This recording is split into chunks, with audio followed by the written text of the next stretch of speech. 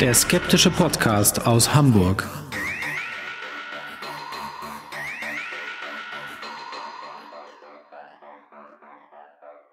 Hallo und herzlich willkommen zum 260. Mal bei Hoaxilla, dem skeptischen Podcast aus Hamburg. Wie immer bei mir die wunderbare Hoax Mistress Alexa. Halli, hallo ihr da draußen und bei mir ist natürlich wie immer zum Glück der wunderbare Alexander Hoaxmaster. Wir sind erholt aus dem Urlaub zurück mhm. und haben eine äh, Sendung, da ist deine Schwester im Grunde genommen dran schuld, ja, dass genau, wir das machen. die schuld.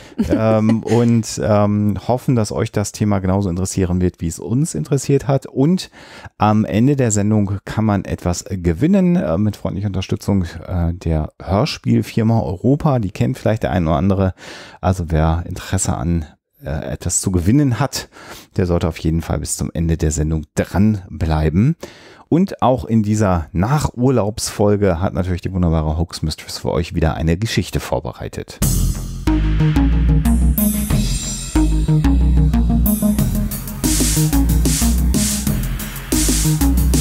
Story der Woche.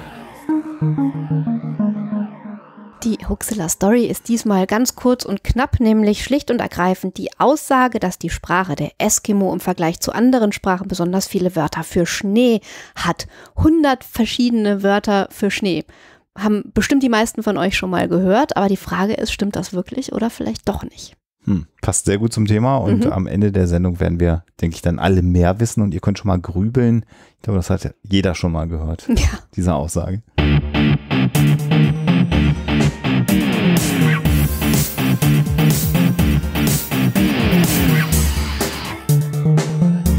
Thema der Woche.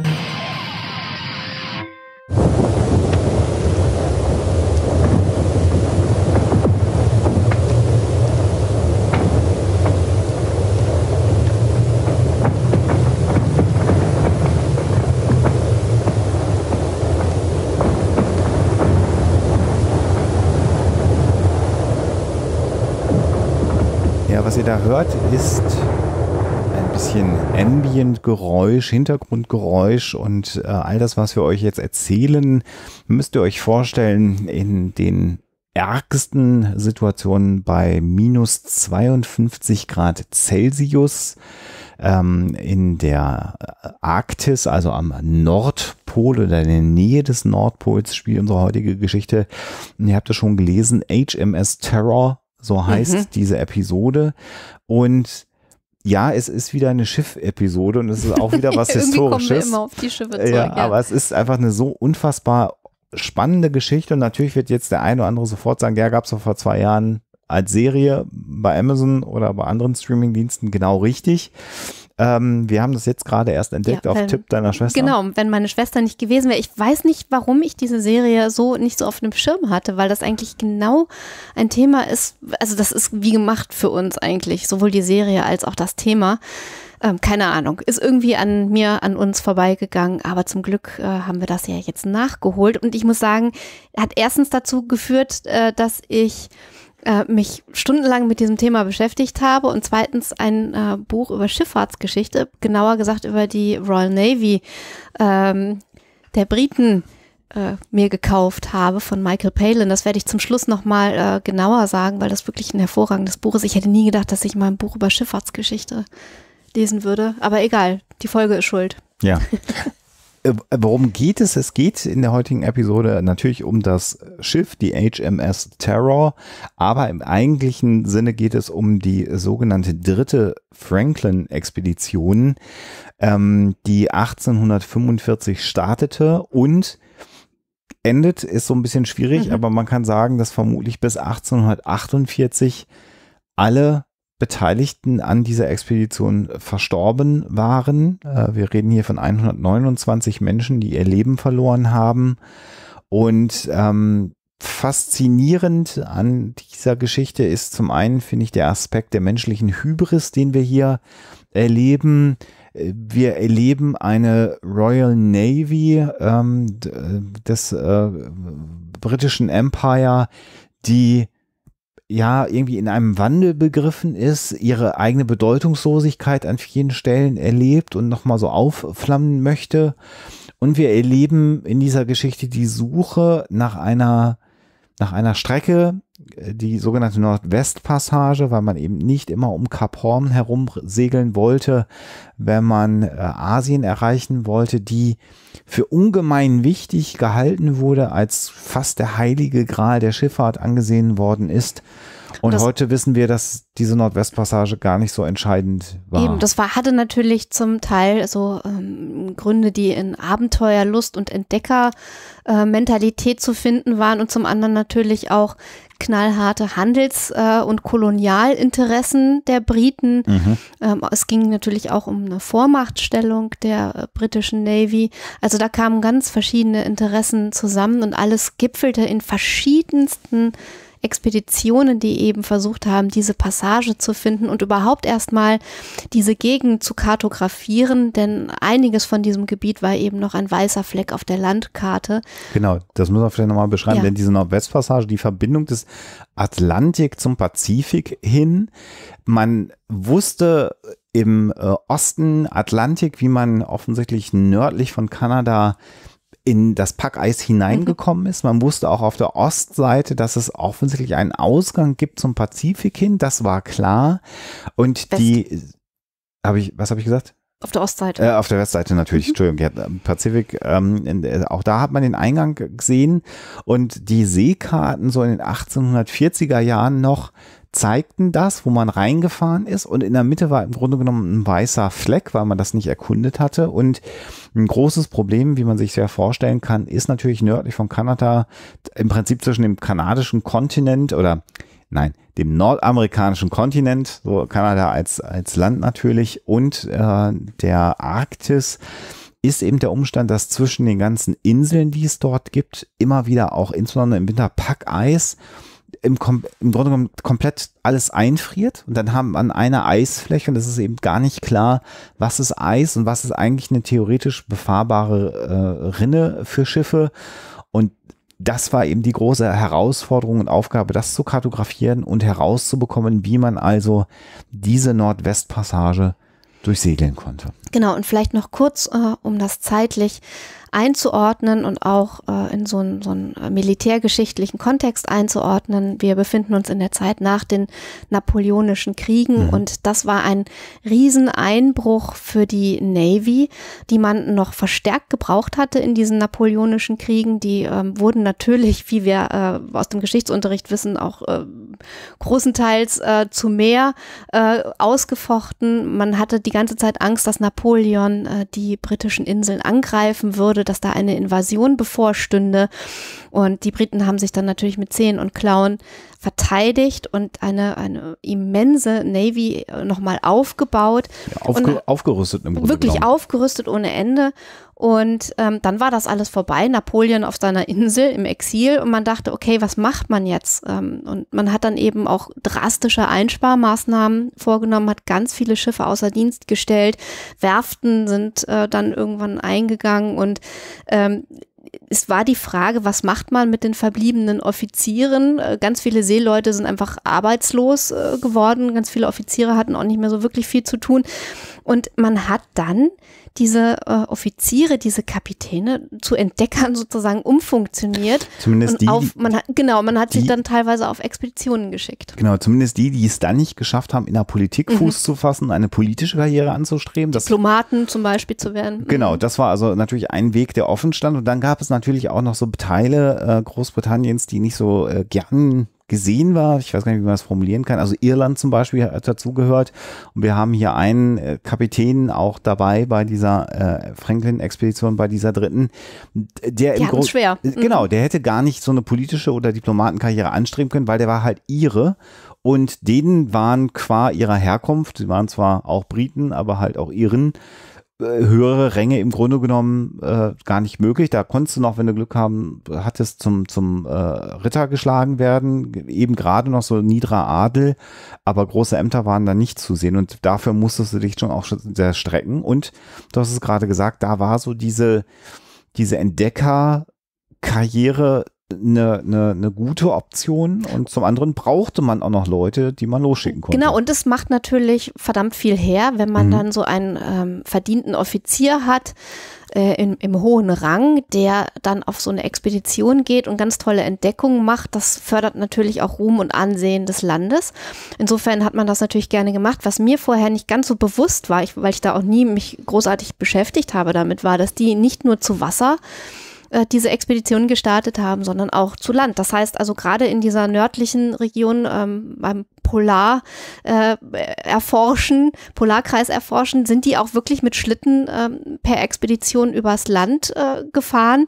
Und auch äh, Sir John Franklin äh, der diese Expedition 1845 geleitet hat mit zwei Schiffen, war äh, nicht zum ersten Mal in dieser Region. Der hatte schon eine, mindestens eine sehr, sehr ausgedehnte Expedition hinter sich, die allerdings nicht so ganz großartig verlaufen ist. Also äh, es gibt eine Expedition zwischen 1819 und 1822, wo er versucht hat, den Nordpol zu erreichen. Und ähm, das ist wahnsinnig äh, schief gegangen, das Ganze. Also irgendwann äh, ist die Mannschaft halb verhungert gewesen. Ähm, man hat dann aus Flechten, also aus so, so Moosen und Flechten, die man da irgendwie vom, vom Felsen abgekratzt hat, so eine schleimige Suppe zubereitet, um sich irgendwie äh, zu ernähren und hat dann, soll dann, das wurde immer so kolportiert, sogar versucht haben, Leder äh, zu essen. Und Franklin ist dann tatsächlich in äh, England, äh, in Großbritannien bekannt geworden als der Mann, der seine Stiefel gegessen hat. Also das war wirklich so ein geflügeltes Wort äh, nicht jetzt so ganz schmeichelhaft, ähm, aber ähm, auf jeden Fall hat man ihn dann trotzdem mit Ehren überhäuft und er hat ziemlich Karriere gemacht und war hoch angesehen. Jetzt müssen wir auch noch mal ähm, äh, ganz kurz sagen, weil du gerade schon gesagt hast, man hat sie auch per Land äh, in die Polarregion geschickt. Wir sind hier noch in einer Zeit, die wir uns nicht so vorstellen müssen, wie dann später die Zeit von Robert Amundsen, der ja als Polarforscher auch berühmt geworden ist, der dann quasi in Fellen gekleidet mit Hundeschlitten unterwegs war. Das war eine neue Generation von Forschern. Übrigens bei der Gelegenheit als, als Randnotiz, Robert Amundsen war auch dann auch der erste, der, dem es gelang, die Nordwestpassage zu durchfahren. Mhm in den Jahren 1903 bis 1906. Das hat also auch wesentlich später. Aber auch mhm. drei Jahre gedauert, mhm. also für diese Passage. Ähm, und der hat dann am Ende tatsächlich von den Eskimos oder Inuit äh, ähm, ja Techniken übernommen, dann auch und sich zu eigen gemacht, die ihm dann natürlich zum Erfolg verholfen haben. Und das haben wir hier im viktorianischen Zeitalter eben noch nicht gehabt. Also äh, die, die sind auch zum Teil äh, ein wenig gescheitert, diese Expeditionen, daran, dass die nicht so super gut vorbereitet waren und man eher so den Ansatz hatte, naja, die Navy mit ihren tollen, harten Kerlen und wacker von Gott geführt und Gottes Gnade für das äh, englische Empire, die werden das schon schaffen. Mhm.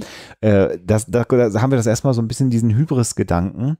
Und bei der Expedition äh, 1845, die wir dann jetzt gleich angehen werden von äh, Sir äh, John Franklin, äh, war es ja auch so, dass er so der, am Ende so der Letzte war, dem man das noch geben konnte, der noch so ein bisschen Glanz hatte. Du hast es gerade schon gesagt. Er war gesagt. auch schon etwas älter, 59. 59. Mhm. Und seine letzte Expedition lag nun auch schon 17 Jahre mhm. zurück.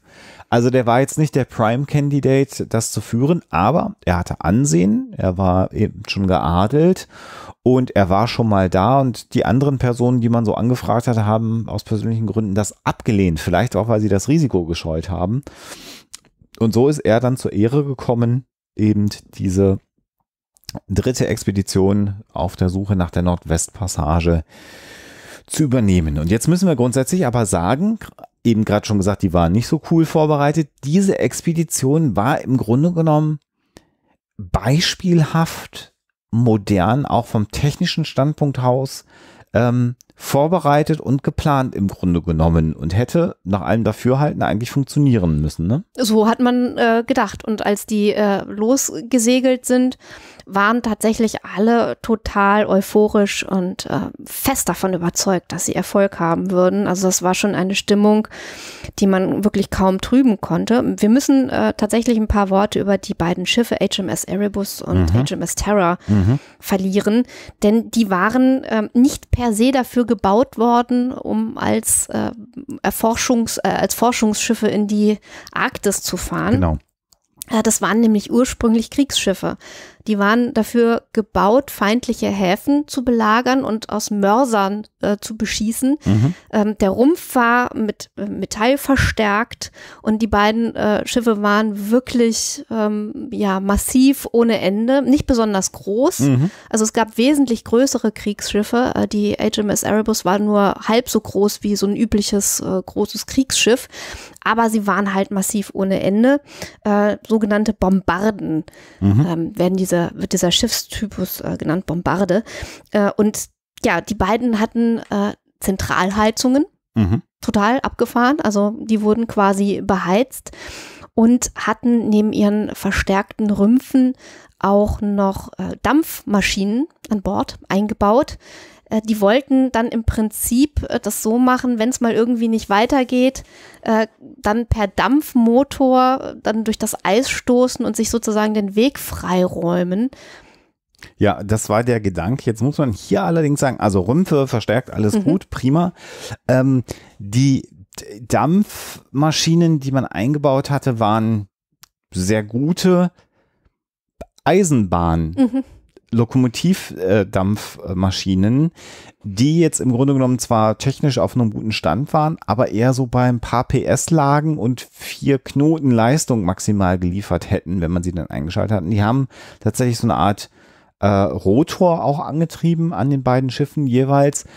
Aber die Schiffe waren dadurch eben extrem langsam und man hatte schon vor zu segeln und im Notfall mal diese äh, Dampfmaschinen anzuschmeißen. Hätte man auch gar nicht so oft machen können wegen des Treibstoffs. ne? hatte man gar nicht dabei, genau. Und es gab zeitgleich schon in den 1840er Jahren Dampfschiffe, also klar definierte Dampfschiffe, die eine viel größere Leistung gehabt haben. Das heißt, das war so ein Zugeständnis, ähm, na gut, und wir bauen auch noch eine Dampfmaschine mit rein, aber das war jetzt nicht der Oberkracher, mit dem man ähm, ja so als Eisbrecher die ganze Passage hätte durchfahren können. Das ist eben nicht gelungen. Ähm, aber so waren die Schiffe im Grunde genommen ausgestattet. Es gab eine Heizung an Bord. Ja. Äh, das war sehr modern. Es gab Entsalzungsanlagen, dass man aus dem Meerwasser auch hätte ähm, äh, Trinkwasser gewinnen können. Wobei, wenn man natürlich im Eis ist, Eis ist ja Süßwasser. Also das Problem war so marginal, hätte man gar nicht haben müssen. Man hat insgesamt fast 3000 Bücher an den beiden äh, Schiffen an Bord gehabt, um die ähm, Crew zu unterhalten, weil man damit gerechnet hat, dass auch überwintert werden muss auf dieser Nordwestpassage. Es gab sogar Schulbücher, äh, so wird es zumindest überliefert. Und ähm, was auch neu war, weil man e- eben gedacht hat, wenn man so lange unterwegs ist, man hat ja zwei Optionen. Entweder man rüstet dann auch darauf aus, dass man ja auf die Jagd gehen kann während der Zeit, um sich mit Fleisch zu versorgen. Aber da hat man schon festgestellt, das kann ein bisschen knäpplich werden in den richtigen eisigen Wintern. Und man hat etwas ganz Neues benutzt, was es seit ein paar Jahren erst gab, also seit Beginn des 19. Jahrhunderts im Grunde genommen, nämlich Konservendosen. Und So zwar 1811 ging das äh, los Genau. mit dem Konservieren. Mhm. Genau, und ähm, hat dann im Grunde genommen Proviant für drei Jahre mitgenommen. Und da ist es ganz amüsant, sage ich mal, zu betrachten, wie da die Vergabe stattgefunden hat, nämlich genau wie bei uns schon. Der, der den günstigsten Preis gemacht hat, hat den Zuschlag bekommen, dieses, äh, dieses Essen zu liefern in Konservendosen. Und es war dann auch bis kurz vor der Abreise noch so, dass die mit Sonderschichten diese Dosen ähm, ja am Ende auch zugelötet haben, damit das dann luftdicht war. Das hatte man also schon raus, wie das ging, damit es wirklich haltbar ist.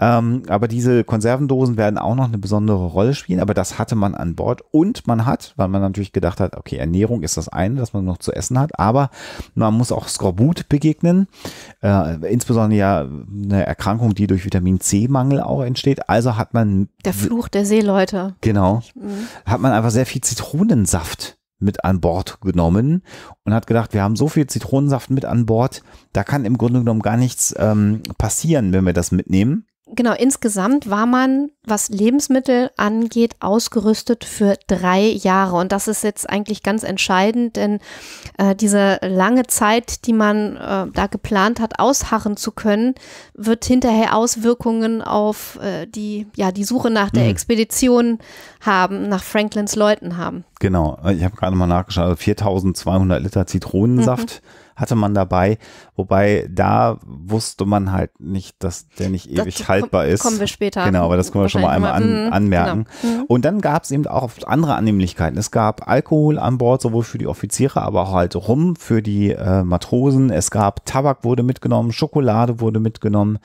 Äh, es wurden ähm, äh, Ball, also Bälle für Ballspiele mitgenommen, damit die sich auf dem Eis unterhalten konnten. Es gab sogar Kostüme, damit man Theater spielen konnte an Bord. Es gab eine Dreh Orgel, äh, ein früher Fotoapparat, eine Daguerreoskopie Apparat, Typie, äh, Typie Entschuldigung, mhm. Daguerreotypie-Apparat wurde mitgenommen. Ob das dann alles so im Eis bei minus 52 Grad hinterher noch funktioniert hat, hat keiner geprüft. Aber das war so die Idee, wir geben den Jungs ordentlich Kram mit, damit die das auch tapfer durchstehen. Weil und man ja wusste, also man ist davon ausgegangen, dass man nicht äh, sozusagen ein halbes Jahr unterwegs ist und dann die Nordwestpassage gefunden hat und dann auf der anderen Seite wieder rauskommt fröhlich, sondern man ist fest davon ausgegangen, dass man mindestens einen Winter im Eis zubringen muss. Und es gab sogar Seeleute, die gesagt haben, ja, das ist total cool, äh, stellen wir uns mal drauf ein ähm, wir machen das gerne mit. Also ich mhm. meine, die haben das auch alle natürlich ähm, mit einer gewissen Entdeckerfreude äh, und einem großen Enthusiasmus gemacht. Und man wusste auch wirklich, dass man sich da auf eine Langzeitmission einlässt. Also das war keine schnelle Geschichte, das wusste jeder. Zeitgleich war es aber zum Ruhm und Ehre des Empires. Also man war, man fühlte sich auch irgendwie mit breiter Schulter, dass man das jetzt machen konnte. Das war äh, toll und das ist auch belegt dadurch, dass nach dem Ablegen dann ähm, die Airbus ja erstmal und, und die Terror, das waren ja die beiden Schiffe, nochmal an der Westküste Grönlands angelegt haben, nochmal Frischfleisch auch an Bord Es war noch ein. Versorgungsschiff bis dahin äh, dabei.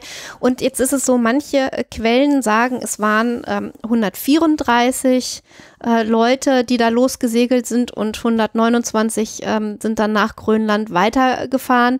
Ähm, manche sagen 133 waren es. Auf jeden Fall, es sind nicht alle, die bis Grönland gekommen sind, auch wirklich weiter in diese Expedition gestartet. Ein paar Leute sind teilweise aus gesundheitlichen Gründen mhm.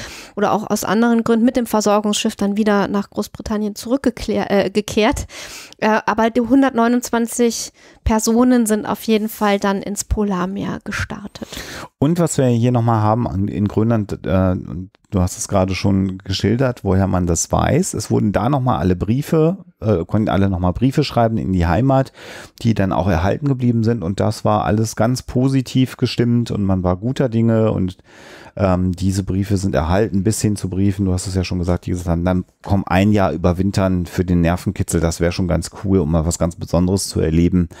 Ähm, das war so die Idee zwischen Grönland und der Einfahrt in die äh, Nordwestpassage war dann nochmal ein Kontakt mit einem Walfangschiff.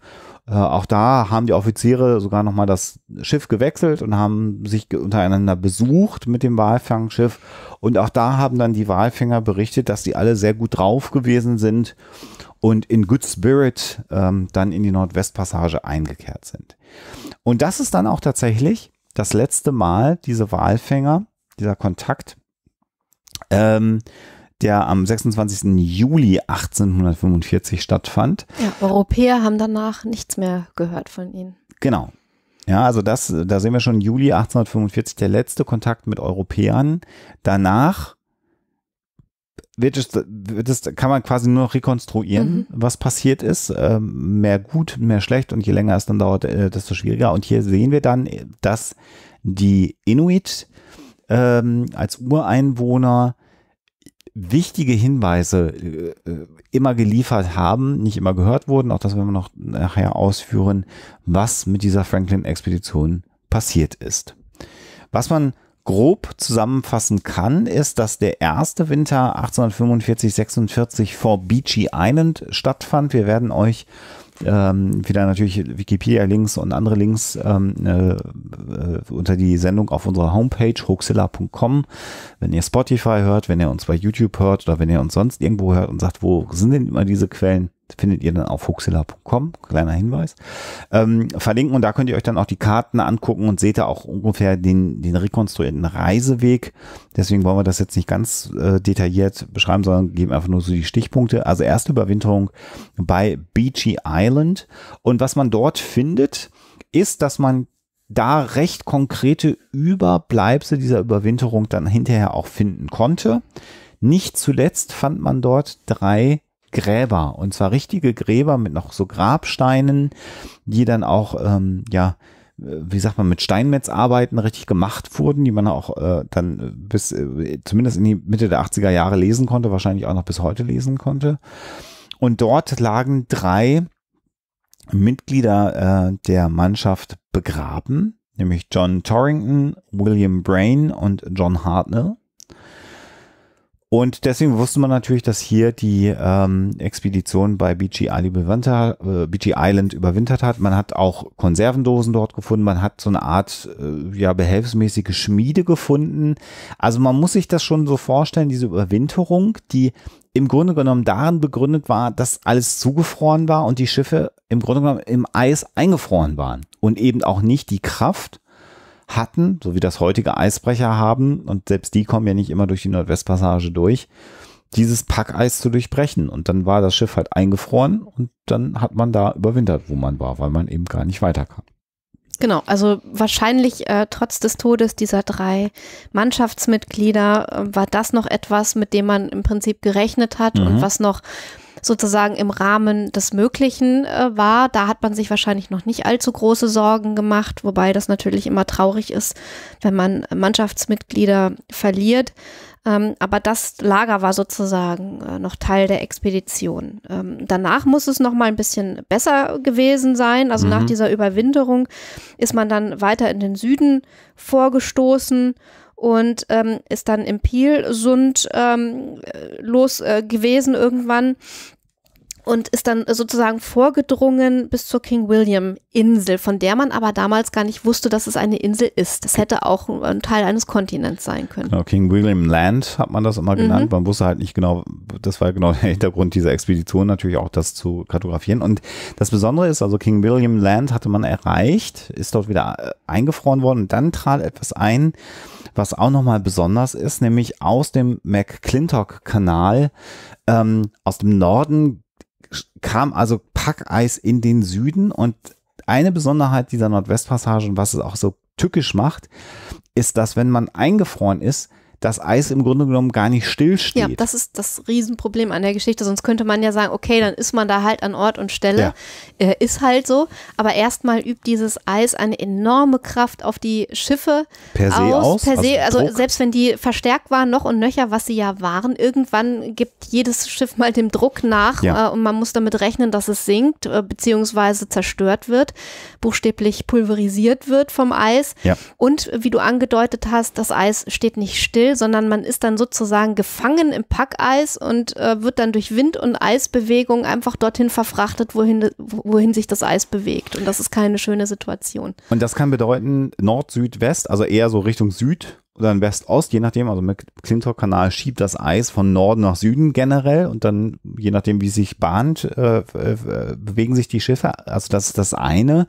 Und wenn man dann auf Felsen eine Insel stößt, kann auch dadurch ein Schiff zerstört werden, dass es an so eine Insel rangedrückt wird und die Insel gibt dann irgendwann nicht mehr nach. Also solange wie man im Eis ist und das Eis unter Druck schmilzt dann im Zweifelsfall und gibt dann noch nach. Aber das ist ein Riesenproblem. Wobei und das auch krass ist allein schon im Eis, weil ähm, teilweise, also nicht nur teilweise, das Schiff wird dann ja auch durch die Eisbewegung ähm, sozusagen in Schieflage gebracht. Das, das kommt auch sagen. noch dazu. Genau. Das heißt also, das ist dann eine Welt, die in Schräglage ist. Also deine ganze Welt, alles, was du so um dich rum hast, ist immer so ein Schlag schräg.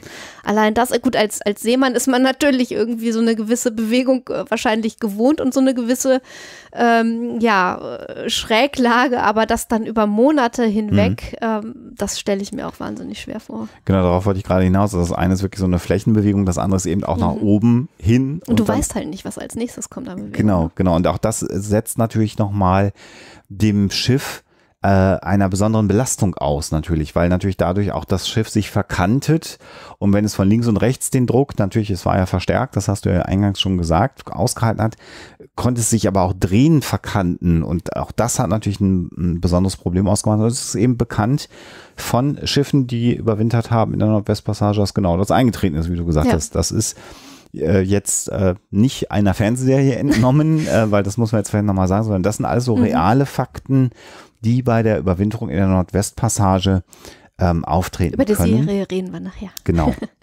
Mhm. Ja, und dann im Grunde genommen verliert sich jede Spur. Wir können erstmal sagen, dass bis weit in die 2000er Jahre hinein nicht nur die Mannschaft verschwunden war, also wir beschreiben gleich, was man an Spuren gefunden hat, sondern vor allem auch die Schiffe waren weg. Mhm. Ähm, und jetzt kommen wir also dahin, Achso, vielleicht sollten wir vorher noch ähm, erwähnen, das hatten wir, glaube ich, noch nicht getan, dass 1847, aber das wirst du vielleicht dann bei den ähm, Spuren, die man gefunden hat, ähm, 1847 Sir John Franklin stirbt. Ja. Also ähm, das trägt vielleicht auch noch zu einer äh, gewissen ähm, Verzweiflung bei, die man dann vielleicht verspürt hat, weil der erfahrene Leiter der Expedition, der wohl auch außerordentlich beliebt war, ähm, dann verstorben ist. Also, jetzt müssen wir uns die Situation vorstellen, ähm, dass man nichts von der Expedition hört. Nochmal 1845 im Juli der letzte Kontakt mit Europäern. Danach gibt es keinen Kontakt mehr. Keine Informationen über die Expedition. Die Ehefrau von Sir John Franklin wird irgendwann ein wenig nervös, aber im Grunde genommen Schneller als die Admiralität. schneller als die Admiralität, aber im Grunde genommen auch erst spät, weil man eben damit gerechnet hat, dass es zwei bis drei Jahre dauern kann, bis man etwas hört von dieser Expedition und weil man eben davon ausgegangen ist, dass die Schiffe so gut ausgestattet waren und dass man den äh, Skorbut, äh, äh, Hunger ähm, und äh, ja irgendwie dem, dem, dem Brainfuck äh, einfach eingefroren zu sein über einen längeren Zeitraum durch die ganzen Unterhaltungsmedien, die man mitgegeben hat, sehr gut begegnen konnte, dass man sehr lange nicht in Sorge um diese Expedition war. Ähm, und wir haben es gerade schon gesagt, die Ehefrau von Sir John Franklin wurde dann irgendwann nervös und hat gesagt, müsste man nicht mal äh, etwas tun. Insgesamt kann man sagen, dass es bis 1854 gedauert hat, bis eben die gesamten äh, Mitglieder dieser Expedition für tot erklärt wurden. Also sechs Jahre.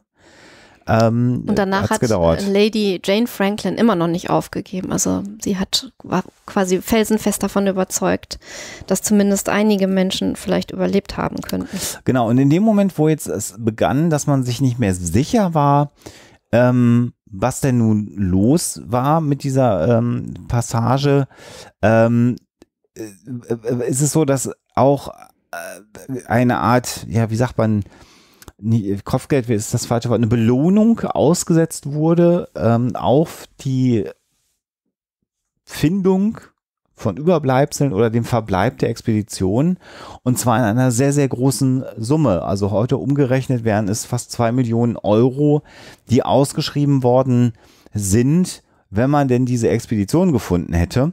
Und äh, wir können vielleicht nochmal sagen, zusammengefasst, ohne jetzt auf einzelne Unternehmungen äh, allzu genau eingehen zu wollen, Ja. zwischen 1847 und 1859 hat es 20 Suchexpeditionen gegeben, die von elf Versorgungsexpeditionen äh, begleitet wurden sozusagen oder unterstützt wurden. Ja. Das heißt also, das war eine Riesenunternehmung über Jahre hinweg und nicht zuletzt auch sehr, sehr gefährlich. Man hat da tatsächlich auch nochmal ähm, Menschen verloren auf diesen Expeditionen und es sind wirklich Schiffe auch in Not geraten. Also das war ähm, ein, ein unfassbarer, äh, ja, Skandal will ich nicht sagen, aber eine, eine wahnsinnig schwierige Situation über Jahre hinweg, die sich da entwickelt hat. Genau, also die Belohnung im März 1848 dann durch die Admiralität ausgesetzt waren 20.000 Pfund Sterling und eben das ist so nach heutigem Geld ungefähr zwei Millionen Euro, also wirklich Unsummen. Und äh, wie du schon sagst, eine ganze Reihe von Expeditionen haben stattgefunden und interessant ist es eben, dass man dann irgendwann durch John Ray, einen schottischen Forscher, ähm, die ersten Hinweise bekam, weil der nämlich bei Inuit Überbleibsel dieser Expedition gefunden hat. Und dann hat er natürlich nachgefragt und es war eindeutig zuzuordnen, dass das ähm, Gegenstände waren, die zur Franklin-Situation gehört haben. Und es hat sich dann so ein Bild langsam gefügt, nach und nach. Also die drei Gräber hat man irgendwann entdeckt. Ähm, man hat dann die Aussagen der Inuit gehabt, die immer wieder davon berichtet haben, dass sie zerrissene Europäer gesehen haben, die über das Eis und zum Teil auch über das Land gegangen sind, die dabei die Rettungsboote der beiden großen Schiffe hinter sich hergezogen haben. Und man hat dann tatsächlich auch ähm, Rettungsboote gefunden mit zum Teil absurden Inhalt, also von Büchern über Seidentaschentücher, Uhren, also alles mitgenommen, mhm.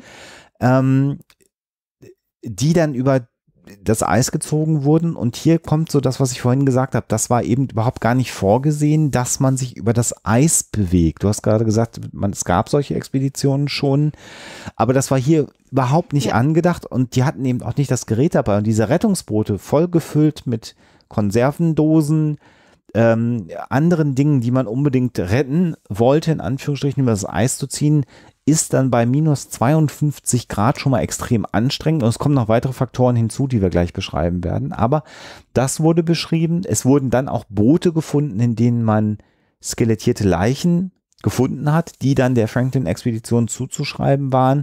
Und die Inuit selber berichten dem Ray gegenüber, dass sie auch einen Ort gefunden haben, wo über 30 Menschen in einem Massengrab äh, beigesetzt worden sind. Ähm, Ray hat den Inuit geglaubt und hat gesagt, okay, und hat das dann nicht mehr nachgeprüft, weil das eine Reise gewesen wäre dorthin, die ihn wiederum unter Umständen in Gefahr gebracht hätte. Und ein eine Beschreibung der Inuit äh, hat dann tatsächlich auch das viktorianische Großbritannien in Aufruhr versetzt, nämlich die Aussage der Inuit, dass sie in einigen dieser versprengten Lagern, die sie immer wieder gesehen haben, auch eindeutig Spuren davon gefunden haben, dass es Kannibalismus gegeben haben muss. Und das war ein undenkbar. Ja, ein absolutes Tabu. Kein christlicher Europäer unter der Leitung eines Gentleman wie äh, Sir John Franklin würde jemals zu so einer ja, Methode greifen, um überleben zu können. Das war also absolut äh, undenkbar für jeden Briten, für die ganze Welt. Und dann gab es tatsächlich ein, ein Echo, das bis zu Charles Dickens, übrigens ja. ein guter Freund der, der Franklin-Familie, reichte. Also der, dann, der Charles Dickens. Der Charles Dickens, der dann sagte irgendwie, ja, das waren nur die Wilden, die da irgendwie da oben leben, irgendwie den kann man nicht glauben die lügen doch nur die ganze Zeit. Also äh, die Berichte wurden komplett vom Tisch gewischt, obwohl sie sich als sehr, sehr genau schon erwiesen hatten und eigentlich auch zu, zur Auffindung von Spuren geführt hatten. Aber was nicht sein kann, das nicht sein darf, nee, was nicht sein darf, das nicht sein, ich weiß es nicht, wie rum auch immer, es durfte jedenfalls nicht sein. Genau. ähm, das ging nicht und äh, deswegen glaubte man diesen Berichten nicht. Und das ist natürlich ganz klarer Imperialismus. Also die, die Inuit wurden als Wilde bezeichnet, die unchristliche Geschichten erzählen und das hat auch Race Bericht eben äh, deutlich an Glaubwürdigkeit äh, gekostet und heute weiß man natürlich durch weitere Forschung, dass diese Berichte sehr, sehr akkurat waren und das ist auch gar nicht verwunderlich, denn die Inuit haben eine lange Tradition der verbalen Geschichtstradierung. Ähm, und offensichtlich ist es da angelegt, sehr genaue Berichte mündlich zu überliefern. Und deswegen ist es gar nicht verwunderlich, dass es diese genauen Berichte gab. Und nachdem man natürlich mehr äh, Expeditionen äh, in diesem Bereich ähm, der, der Polarregionen durchgeführt hat, und immer mehr Fakten gefunden hat, war natürlich das, was die Inuit erzählt haben, hinterher untermauert, auch mit dem, was man an Beweisen finden Genau, konnte. Geschichte und Informationen werden bei den Inuit sozusagen mündlich überliefert und weitergegeben, weil man sich nicht äh, auf eine Schriftkultur äh, beruft. Und das, äh, dieses System ist, dieser, dieser mündlichen Weitergabe ist so ausgeklügelt und genau, äh, dass es eben eine sehr, sehr verlässliche Quelle darstellt, was man natürlich im 19. Jahrhundert nicht äh, wahrhaben wollte. Und es ist, es ist eine große Frage und diese Frage werden sich auch alle, äh, die irgendwie an Suchexpeditionen beteiligt waren im 19. Jahrhundert gestellt haben. Warum zum Henker haben die in, in, in ihren diversen Lagern, äh, auch zum Beispiel bei äh, den Gräbern äh, Beachy Island, keine Hinweise hinterlassen, wohin sie ziehen werden und was sie vorhaben und wieso der Status ist. Also keinerlei Informationen, bis dann 1859 auf King William Island an der Westküste in einem Steinhaufen, einem sogenannten Cairn, ein Zylinder mit einem Dokument entdeckt wird. Genau, das war am Victoria Point, äh, tatsächlich von äh, einem Herrn McClintock dann tatsächlich, ähm, der das gefunden hat. Und äh, du beschreibst es schon, also was man tatsächlich gemacht hat, und das war gar nicht unüblich, war diese Cairns Steinhaufen vielleicht, also da gibt es kein so wirklich gutes Wort für. Da hat man eben Steine aufgeschichtet und in der Mitte dieser Steinhaufen Metallzylinder mit, vor, also quasi Standardpergamenten äh, ähm, dann hinterlegt. Und das war ein gängiges Verfahren, weil der Ort dieser Currents eigentlich bekannt war und man konnte dort eben hinterlassen, wir waren an dem und dem Datum hier und hier, die Schiffe lagen dort und dort und der Status ist okay oder nicht okay oder wir haben folgende Probleme. Und dieses Dokument, was äh, McClintock 1859 fand, ist insofern ganz spannend, weil es das einzige schriftliche Zeugnis ist. Du hast gerade schon beschrieben, was anderes hat man nicht gefunden. Und zum anderen ist das ein doppelt beschriebenes Dokument. Also einmal noch ein Dokument, in dem im Grunde genommen steht uh, All Well, also aus der ersten Überwinterung im Grunde genommen, dass man sagt, da war noch alles gut. Und dann genau, Franklin, Franklin ist äh, unser Leiter, der Genau, ist da, irgendwie, Kommandant. alles ist gut. Mhm. Genau, und dann hinterher aber dann in diesem Dokument verbirgt, niedergelegt, dass äh, Sir John Franklin verstorben ist mit weiteren Offizieren und weiteren Männern und dass man also äh, überwintern musste erneut. Das ist hinterlegt und da sieht man schon, dass also Teile der Expedition zurückgefunden haben, nochmal, um diese Nachrichten zu hinterlegen. Und damit war zumindest für die dann jetzt Witwe von Sir John Franklin sein Schicksal klar belegt. Äh, man hat kein Grab von ihm gefunden. Hier ist die Vermutung, dass man ihm im Eis beigesetzt hat und eben nicht nochmal einen eigenen ja, Grabstein für ihn äh, gemacht hat, vielleicht aber auch doch, aber den dann vielleicht auf dem Eis und dann ist er verloren gegangen, man weiß es nicht. Also man hat zwar das schriftliche Zeugnis seines äh, Todes, aber nicht sein Grab gefunden. Und auf dieser Expedition hat McClintock dann auch noch weitere Spuren gefunden. Und äh, man hat dann auch in diesem Dokument äh, die Information finden können, dass neben äh, dem Tod von Franklin der Verlust von äh, neun Offizieren und 15 Männern noch Ja. zu beklagen gewesen ist. Genau, das sind die Zahlen. Ich habe es nur kurz grob beschrieben, aber das sind die Zahlen. Also da merkt man schon, es, es werden weniger ähm, Männer auf der Expedition. Drei hatte man ja schon in der ersten Überwinterung äh, verloren. Und ähm, ja, wir können mal versuchen nachzuzeichnen, jetzt nachdem wir so beschrieben haben, was also geschehen zu sein scheint. Also die drei ersten Verstorbenen sind zum Teil an einer, also einer ist wohl an einer Lungenentzündung äh, verstorben. Man hat Mitte der 80er Jahre dann tatsächlich die Leichen exhumiert und hat sie dann nochmal einer Autopsie unterzogen und da ist dann halt Einer von äh, den Männern scheint schon damals 1846 einer Autopsie äh, unterzogen worden zu sein. Genau, das war auch nicht unüblich, äh, das da zur damaligen Zeit schon zu machen. Und ähm, ja, also Lungenentzündung war eine Todesursache, die man festgestellt hat. Tuberkulose war Bei eine allen dreien? war bei allen Mhm. dreien vorhanden und bei zweien, wenn ich es richtig in Erinnerung habe, war das auch die Todesursache. Ähm, und ein interessanter Befund, den man an diesen ähm, drei Leichen dann festgestellt hat, war, dass sie ungewöhnlich hohe Bleirückstände in ihren Körpern hatten. Und ähm, andere m, Beschreibungen auch von Inuits sagen, dass die Besatzung, die sie gesehen haben, offensichtlich eigentlich Anzeichen von Skorbut hatten, in dem was beschrieben wird und auch äh, an, an anderen äh, Quellen findet man das. Ähm, und da kann man jetzt natürlich sagen, warum A, so viel Blei und warum eigentlich Skorbut? Das macht doch alles überhaupt Die gar keinen doch alles Sinn. dabei, was man so braucht. Mhm. Und da kommen wir jetzt zu zwei Problemen äh, oder, oder, oder ja tragischen Umständen.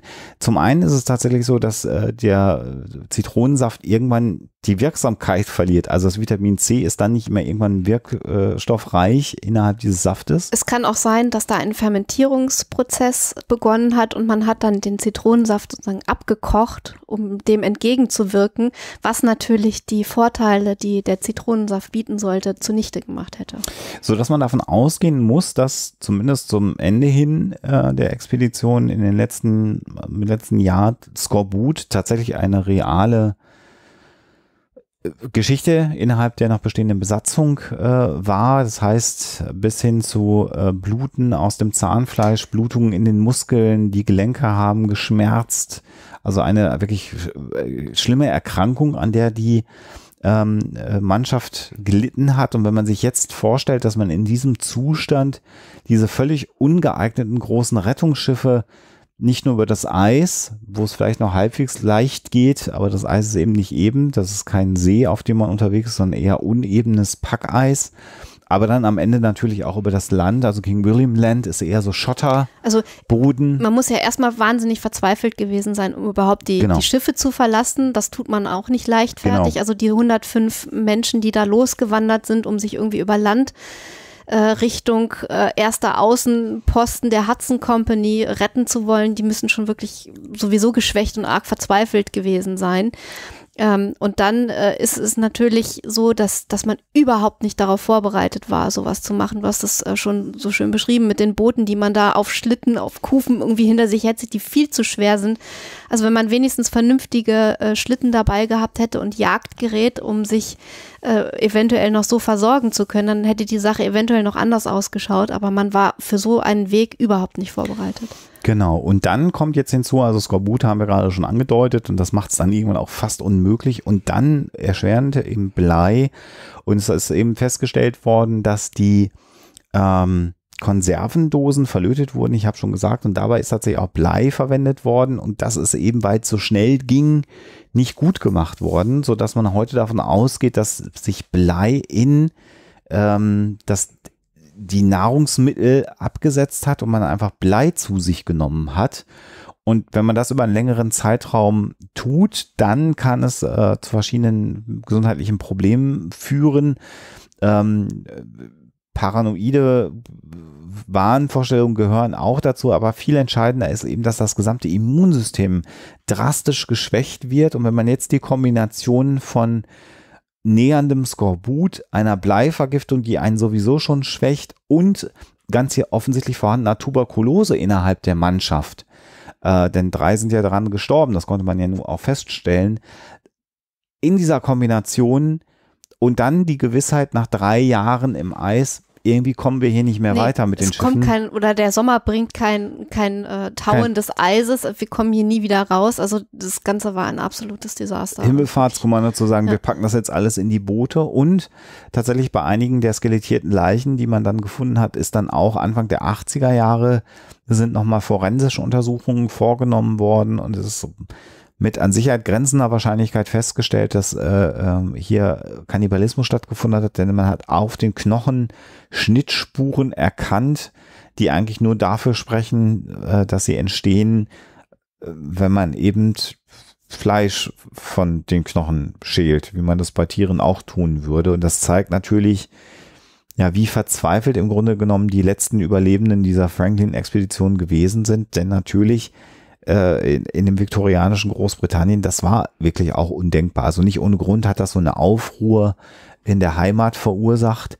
Aber klar, bevor du stirbst, ähm, tust du unter Umständen auch das Undenkbare, um dein eigenes Leben zu erhalten. Aber es hat halt dann scheinbar nicht mehr gereicht. Und damit haben wir im Grunde genommen die tragische Geschichte von 129 Menschen beschrieben, die eigentlich im festen Glauben, technisch so ausgestattet zu sein, dass es im Grunde genommen ein Kinderspiel ist, ähm, diese Nordwestpassage zu durchschreiten. Ich habe gerade schon gesagt, Roald Amundsen dann erst 1903 als erster, also von 1903 bis 1906 dann derjenige, der die Nordwestpassage tatsächlich hinbekommen hat. Das hat also nochmal, ja, 52, nee, 55 Jahre gedauert, bis man dann am Ende tatsächlich diese Nordwestpassage ähm, durchfahren konnte. Ähm, und die Bedeutung der Nordwestpassage, Alexa, du hast das mal nachgeguckt, ist heute eigentlich in Relation zu dem Menschenleben, die das gekostet hat, Ja, mehr so also mehr, oder? Es, es gibt äh, eine schöne Reportage, einen Artikel ähm, aus der FAZ, den man auch online lesen kann, aus dem Jahr, aus diesem Jahr, vom Januar, äh, aus Januar 2020, wo beschrieben wird, wie ein Passagierschiff äh, eben sozusagen die Spuren dieser Franklin-Expedition nachzeichnet. Und ähm, da wird gesagt, dass bis dato 290 Durchfahrten stattgefunden haben. Das ist jetzt nicht allzu viel, wenn man das mal so auf die Zeit rechnet. Und 51 davon von Passagierschiffen. Und äh, diese Handels- und Vormachtsbedeutung der Nordwestpassage hat sich überhaupt nicht erfüllt. Natürlich ist der Entdeckergeist und das Kartografieren und Erforschen dieser Gegend immens wichtig. Und äh, es ist wichtig, dass Menschen ja versuchen, unseren Planeten so gut wie möglich zu beschreiben, zu erforschen, äh, zu kartografieren. Aber letzten Endes diese, diese Prestigeunternehmung, die, die äh, das Empire sozusagen damals darin gesehen hat, das hat sich nicht ganz so als, ja, sagen wir so, wichtig äh, erwiesen oder nicht ganz so dargestellt, wie man äh, damals dachte. Und der Preis war verdammt hoch, den man da gezahlt hat. Ja, also interessant ist eben, dass man viel leichter das dann am Ende hinkriegen konnte durch den Panama-Kanal, der 1914 ja eröffnet worden ist. Das war eben dann der sichere Seeweg äh, quasi so vom Atlantik in den Pazifik. Und wenn wir jetzt hören, dass Amundsen 1906 der erste war, der die Nordwestpassage da oben durchsegelt hat und im Grunde genommen acht Jahre später war der Panama-Kanal fertig, der das dann einfach sicher, safe äh, und auch sehr schnell natürlich ermöglicht hat. Das zeigt die Bedeutung für die, für die Seefahrt oder für die Industrie natürlich sehr gut. Äh, und das ist schon auch interessant, wie das dann so zu einer Fußnote im Grunde genommen Ja. wird, der Geschichte. Wobei, also wir wollen jetzt natürlich nicht die Leistung äh, Nein. dieser, dieser vielen äh, Menschen, die da äh, aufgebrochen sind, um äh, Forschungs, äh, Forscherarbeit zu leisten, schmälern. Also das ist natürlich einmal äh, fantastisch, was da überhaupt geleistet wurde. Auf der anderen Seite steht wieder diese, diese absolute Hybris, diese Missachtung auch der äh, indigenen äh, Völker, der Inuit im Speziellen, auf die man da stößt äh, und die in der Bewertung der äh, Inuit-Berichte Ja. zum Tragen kommt. Das ist dann natürlich wieder äh, die dunkle Seite äh, dieser, ja, dieser Eigenschaften äh, und der europäischen, des europäischen Forskerdrangs ja, Imperialismus halt des einfach? Imperialismus, danke, ja. Ähm, also das, das, da ist man wirklich zwiegespalten, was die äh, Bewertung dieser Unternehmungen angeht. Ähm, es gibt ähm, aus den letzten Jahren ein bisschen wissenschaftlichen Streit, eine Debatte darüber, wie weit nun der äh, Bleigehalt, vor allen Dingen diese fehlerhaften Konservendosen, äh, dazu beigetragen haben, äh, dass die Expedition desaströs verlaufen ist. Es gibt eine Studie aus dem Jahr 2013, die wollen wir hier mal nennen, der Vollständigkeit halber, die werden wir euch auch verlinken, ähm, in der äh, gesagt wird, also die, die Konzentration war zum einen nicht unbedingt so viel höher als bei anderen Mitgliedern der Royal Navy zu dieser Zeit. Äh, dann ähm, hätte die Konzentration äh, in den Knochen äh, höher sein müssen bei denen, die länger überlebt haben. Ähm, und ähm, ein dritter Faktor, der mir jetzt gerade nicht einfällt, ähm, war auch noch ähm, Teil dieser Studie. Also man hat sich da Fragen gestellt und wollte herausfinden, ob das wirklich der einzige Grund ist, warum das alles so furchtbar gescheitert ist. Und ist dann eben zu dem Schluss gekommen, dass die Rolle, die diese Bleivergiftung gespielt hat, lange nicht so groß ist, wie man immer gedacht hat. Kann man jetzt bewerten, wie man will. Ich hätte zu dieser Studie noch einige Fragen, ähm, aber äh, es ist sicherlich so, dass das nicht der einzige Faktor ist, der da eine Rolle gespielt hat. Ich denke, das kann man auf jeden Fall festhalten. Ja, aber das haben wir im Grunde genommen schon in unserer genau, Darstellung ja genau, gesagt. da dass kamen wahnsinnig viel viele Faktoren zusammen. Ja. Äh, Unter anderem kam ja auch übrigens zusammen, das hat man durch Kernbohrungen im Eis festgestellt, dass die Winter oder die insgesamt die klimatische Situation 1845 bis 1848 extrem kalt war. Das heißt, die haben auch das Pech gehabt, genau in dem Zeitraum ähm, die Nordwestpassage versuchen zu wollen, in dem es besonders kalt war und besonders viel Eis bis hin zu fast gar keinem Auftauen im, im Sommer in Anführungsstrichen ähm, stattgefunden hat. Und das war natürlich auch nochmal ein Riesenproblem. Und man muss natürlich nochmal ganz kurz erwähnen, vielleicht, dass wir durch die Nähe zum Nordpol auch das Problem haben, dass die zwar natürlich Kompass und alles an Bord hatten, aber ähm, ja, im Grunde genommen so ein Kompass in der Nähe des Nordpols auch nur so semi-hilfreich ist. Das heißt, auch das genaue Navigieren und Kartieren ist nicht so wirklich einfach ähm, dort oben, weil natürlich dann irgendwann der Kompass auch durch die Nähe zum Nordpol komplett mhm. äh, äh ja, beeinflusst wird. Auch das macht es schwieriger. Genau, Heute also ich kann vielleicht noch diesen äh, dritten Faktor, der mir eben nicht äh, eingefallen ist, nochmal nachliefern. Also die äh, ersten und den dritten, den ersten und den dritten hatte ich genannt. Der zweite war, äh, dass die Konzentration sozusagen in einem jüngeren äh, Gewebe ähm, äh, stärker hätte sein müssen. Also wenn sie in der letzten Zeit sehr viel Blei aufgenommen hätten als in älterem Gewebe.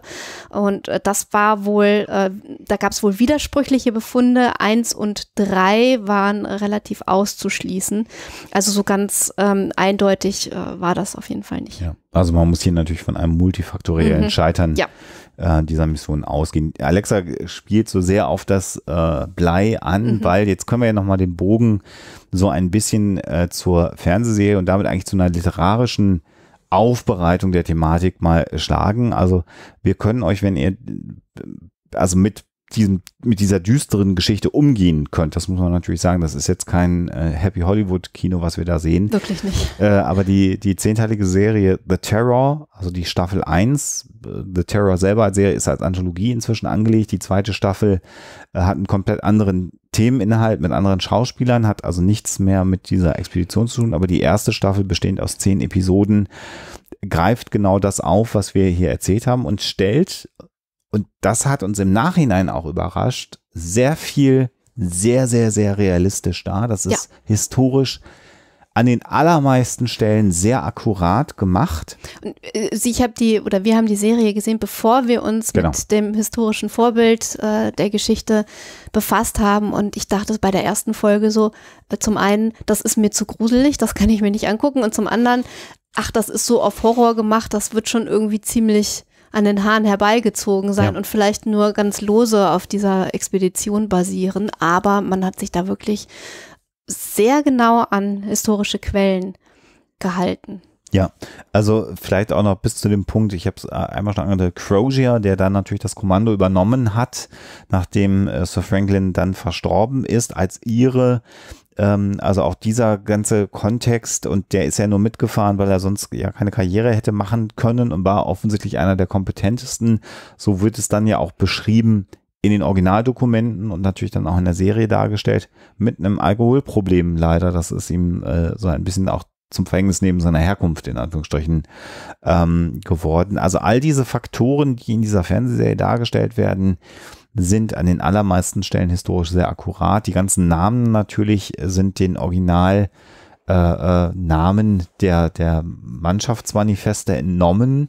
Ähm, die sind ja erhalten. Das haben, wir, haben wir gesagt, dass die Serie auf dem Roman von Dan Simmons? Noch nicht. Ich ah, habe ja. gesagt Romanvorlage, ah, okay. genau. Also mhm. Also die Serie basiert auf einem Roman von Dan Simmons, dann mhm. haben wir das jetzt gesagt. Aber man muss jetzt natürlich sagen, dass in der Serie zum einen diese Bleivergiftung eine sehr große Rolle einnimmt. Deswegen hat Alexa das jetzt auch sehr, sehr, sehr eingeschränkt dass man da sich eben nicht sicher ist. Und zum anderen gibt es in der Serie dann auch noch mal ja ein fantastisches Element, was wir jetzt vielleicht gar nicht spoilern wollen, was so ein ganz bisschen was vielleicht hat von etwas, was auch in der Akte X Folge vorkommen könnte. Nicht Aliens, aber so eine Art mhm. Monster. Mhm. Und da kann man natürlich sehr viel jetzt reininterpretieren, ob es sich hier wirklich um ein Monster handelt, was dann diese Besatzung noch heimgesucht hat, zusätzlich zu allem Unglück, oder ob es eher die Wahnvorstellungen dann doch waren durch die Bleivergiftung, oder ob es am Ende nur ein, eine Versinnbildlichung äh, der Natur, die ihnen den Tod bringen mhm. wollte, sein sollte. Das kann man mal hinstellen, wie man das möchte. Das kann jeder für sich selber interpretieren. Kurzum kann man aber sagen, dass diese Serie sehr, sehr gut gemacht ist, mit sehr, sehr viel Aufwand produziert worden ist ähm, extrem stimmungsvoll ist. Ähm, sie wird beworben als von Ridley Scott, also er ist einer der Executive Producer gewesen. Äh, wie sehr er da direkt die Hand im Spiel gehabt hat, sei mal dahingestellt und ob er da nicht nur mit seiner Firma ein wenig Geld reingeschossen hat. Aber das ist dann ja immer so, dass der Produzent, der am bekanntesten ist, dann oben natürlich steht. Aber eine sehr, sehr gute Serie. Wenn ihr sagt, das, was die Huxillas hier gerade erzählt haben, finde ich hochspannend. Das packt mich auch gerade. Dann könnt ihr zum einen das Buch natürlich lesen und zum anderen euch auch die Serie anschauen. Es gibt ähm, noch einen, ähm, den werden wir auch verlinken, einen medizinischen Artikel, der das Ganze nochmal genauer mhm. aufrollt, wo auch nochmal die genauere Untersuchung der äh, gefundenen Toten äh, auf BG Island beschrieben wird und bis hin zur Haaranalyse, mhm. wo man wirklich ablesen kann, bis wann vor äh, seinem Tod das entsprechende Crewmitglied noch Blei aufgenommen hat. Äh, also äh, das ist sicherlich wahnsinnig äh, interessant für die Leute, die der medizinische Aspekt dieser Expedition besonders interessiert. Also da kann man das alles nochmal ganz genau nachlesen und sich dann eben zusammen mit dieser anderen Studie, was die Bleivergiftung angeht, vielleicht ein eigenes Bild auch schaffen. Und generell können wir hier nur sagen, wir werden ein paar äh, Wikipedia-Artikel und andere Quellen verlinken und dann könnt ihr einfach anfangen, wenn ihr nach der Franklin Expedition äh, anfangt zu suchen, ist, da gibt es einfach so viel im Netz. Also damit mhm. kann man sich, glaube ich, über Monate beschäftigen, wenn man das möchte. Und es gibt eben auch viele Originaldokumente, die man dann auch mit ein bisschen Suche finden kann, in die man auch hineinschauen Übrigens, kann. Übrigens, ähm, um nochmal auf die Inuit und ihre Rolle zurückzukommen, man hat auch maßgeblich die beiden Wracks 2014 ja. und 2016 durch Berichte der Inuit gefunden. Das heißt, äh, die haben eine wahnsinnig wichtige Rolle auch beim Auffinden der Schiffe gespielt. Also äh, eben sollte man wirklich äh, aufpassen, dass man diese Berichte nicht irgendwie kleinredet. Die äh, sind sozusagen der Schlüssel zu der ganzen Unternehmung und zu allem, was wir überhaupt über die Franklin-Expedition im Nachhinein in Erfahrung bringen können. Das ist ein wichtiger Aspekt, das haben wir noch gar nicht angesprochen, denn man hat tatsächlich 2014 ja. die äh, Airbus gefunden und 2016 die HMS äh, Terror. Und dann auch noch in der Terror Bay. In der Terror Bay. Ähm, ja, Genau, insbesondere die Terror äh, auf Hinweise von Inuit hin. Und äh, hier ist es so, dass die quasi die Erforschung dieser Wracks noch ongoing ist. Das ja. heißt, da ist noch gar nicht der Forschungsstand abgeschlossen. Man kann sich natürlich vorstellen, dass es da jetzt auch das nicht dauert. jeden Tag einfach ist zu tauchen. Es muss eben dann auch gerade mal alles zugänglich sein. Und die äh, Fundorte der beiden Schiffe werden im Grunde genommen durch die kanadische Regierung, die Großbritannien hat diese äh, Schiffe äh, Kanada zugesprochen und Kanada hat sie sich gemeinsam mit den Ureinwohnern, mit den Inuit als ähm, Kulturerbe ähm, geteilt. Und die Erforschung wird da sehr vorsichtig vorangetrieben. Und die genauen Fundplätze ähm, stehen zwar in der Wikipedia, aber ich habe immer mal wieder auch die Informationen bekommen, dass so ganz genau das eben nicht mitgeteilt wird, sondern wahrscheinlich eher ein größer angelegter Bereich, weil man nicht möchte, dass da jeder auch herabtaucht.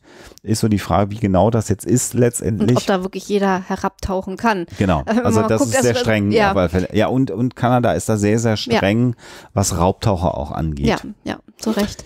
Also äh, das, jetzt kam die Pandemie noch dazwischen. Äh, du kannst sowieso nur wenige Tage und Wochen im Jahr solche Tauchgänge machen. Also sie haben schon einige Gegenstände geborgen, aber das Ganze wird sich sicherlich noch länger hinziehen und ähm, es ist dann die Frage, was die kommenden Jahre da an Informationen noch liefern. Auf jeden Fall ähm, kann man an der Position der Schiffe äh, ablesen, dass zumindest eines der beiden Schiffe von einem Teil der Besatzung nochmal äh, weitergesegelt wurde. Die Terror, nämlich die HMS Terror, ist wahrscheinlich nochmal, äh, und auch da kann man jetzt hypothetisieren, dass ein Teil dann irgendwann gesagt hat, entweder wir gehen nicht mit, oder aber gesagt hat, wir kehren um, weil das ist auf dem Schiff offensichtlich doch die bessere Alternative und dann im Grunde genommen dafür belohnt worden ist, weil man noch ein Stück weiter nach Süden gekommen ist mit der HMS Terror, bevor sie dann gesunken ist. Und da die letzten belegten Liegeplätze dieser beiden Schiffe deutlich nördlich äh, waren, muss man davon ausgehen, dass es zumindest noch so eine Art ja, Kernmannschaft, äh, Skelettmannschaft gegeben hat, die die HMS Terror nochmal Richtung Süden gesegelt hat, bevor das Schiff dann am Ende gesunken ist. Ähm, genau, da muss man jetzt einfach schauen, was die weitere Erforschung der beiden Wracks äh, ergeben wird. Wir werden euch auch noch zwei Dokus verlinken, ähm, die ihr euch anschauen könnt.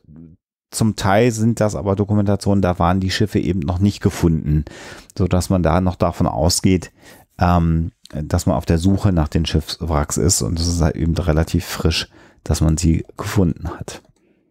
Ja, soweit die Geschichte, die sicherlich noch nicht auserzählt ist, weil immer noch Fragen offen sind ja. und wer weiß, ob man nicht noch weitere Informationen in den nächsten Jahren bekommt.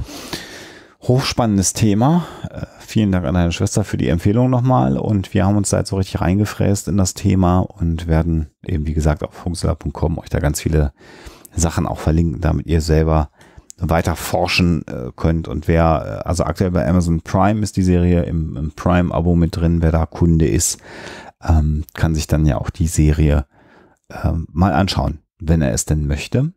Und jetzt, Alexa, müsstest du uns mhm. nochmal äh, darüber aufklären, ob denn jetzt die Eskimos über 100 Begriffe für Schnee haben oder nicht. Die Auflösung.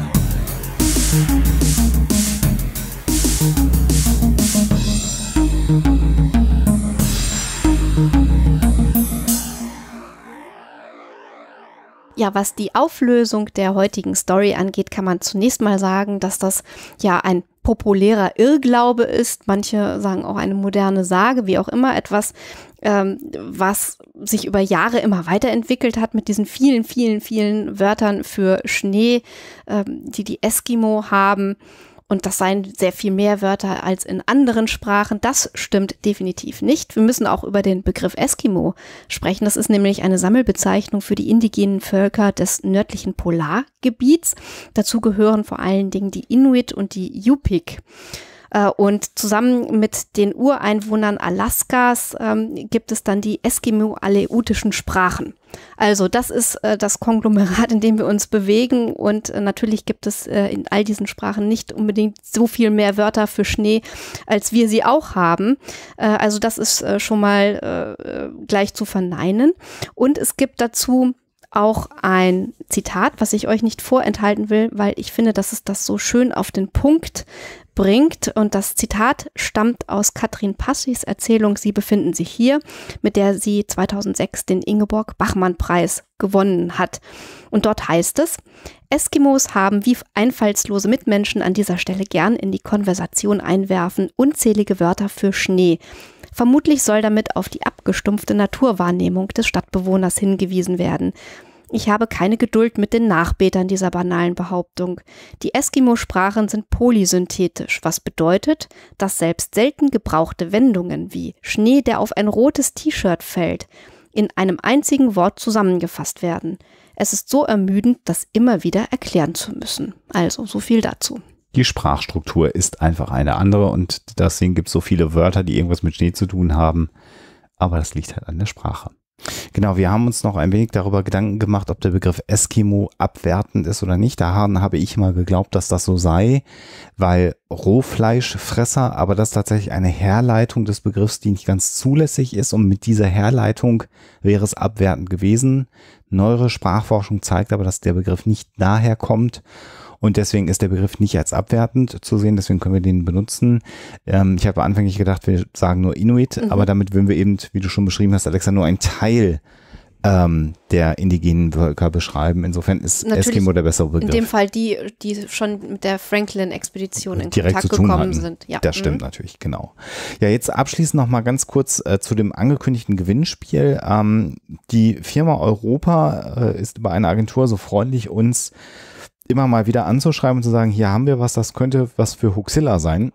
Und im Grunde genommen haben wir ja gesagt, wir sind werbefrei, aber wenn es Dinge sind, die irgendwie auch keinem wehtun, und mit denen wir euch einen Gefallen tun können und die uns gefallen, dann die äh, wirklich was mit Huxilla zu tun Genau, dann können wir ja. können wir da mal was drüber erzählen, denn am 11. September jetzt am vergangenen Freitag hatte ein neues Hörspiel Premiere das heißt SOS Wasserleichen an Bord. Ja, seht schon, Untote. Mhm. Das ist natürlich ein Thema für Huxilla. Da ist wieder das Schiffsthema auch, ne? Und das Schiffsthema, das passt natürlich auch besonders gut zur heutigen äh, Episode. Und das äh, Verrückte ist, es ist eine Neuauflage von Europa der Gruselserie oder die Serie heißt Gruselserie.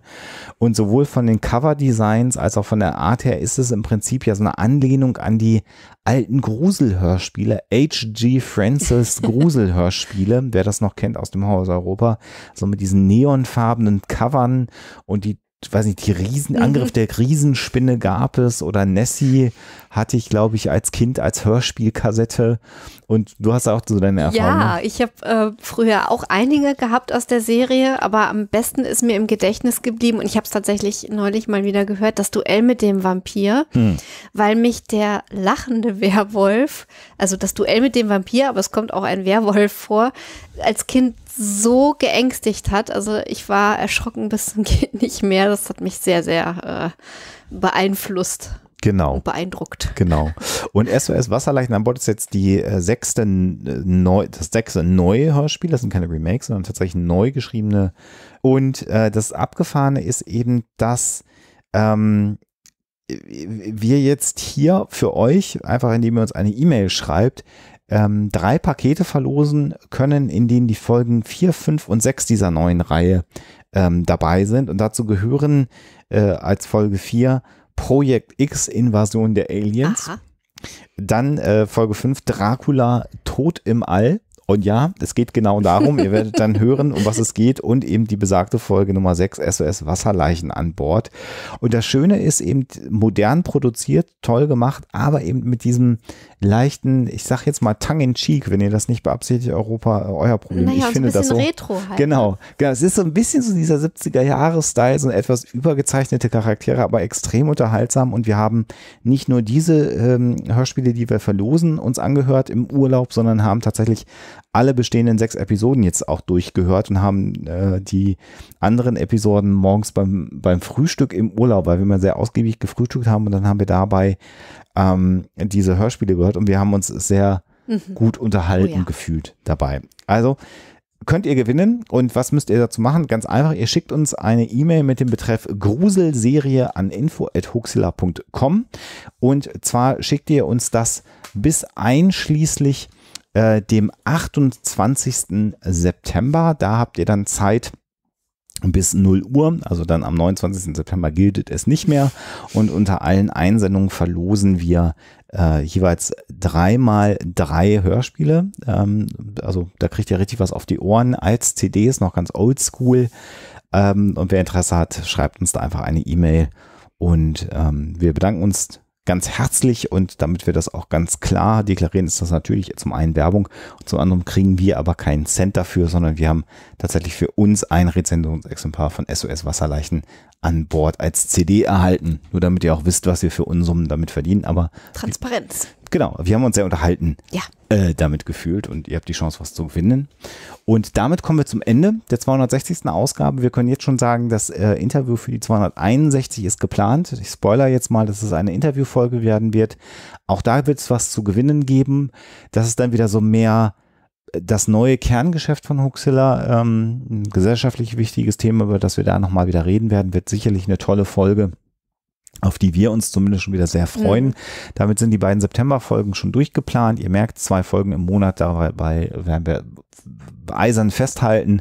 Und der eine oder andere weiß es natürlich, durch die Ferngespräche hat sich die Anzahl der Sendungen insgesamt natürlich drastisch erhöht. Das wird auch noch ein bisschen weitergehen, äh, so wie sich das darstellt.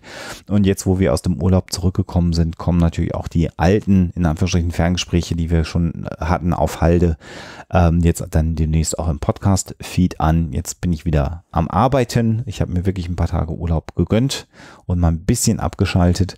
Und jetzt arbeiten wir wieder mit Volldampf, was Ruxilla angeht und hoffen, dass euch diese Folge auch wieder gefallen hat und dann auch alles weitere, was in diesem Jahr noch so kommen wird.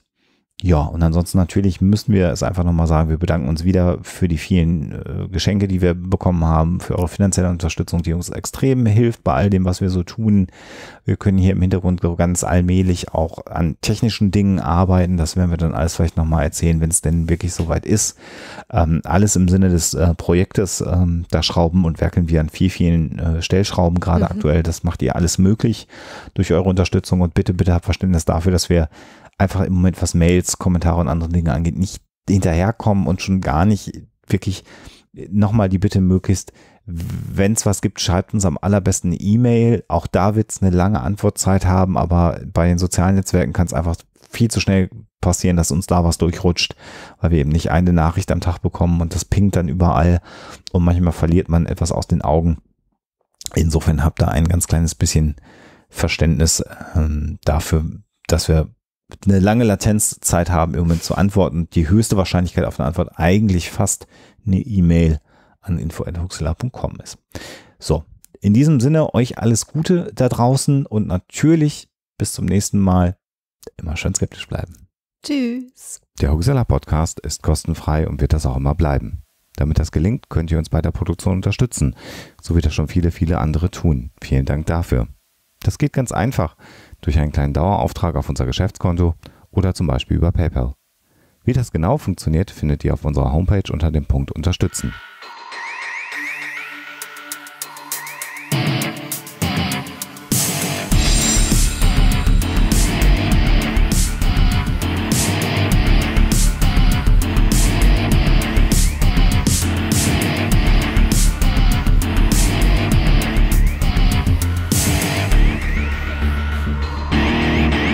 Schickt Fragen, Anmerkungen oder Feedback an info@huxilla.de.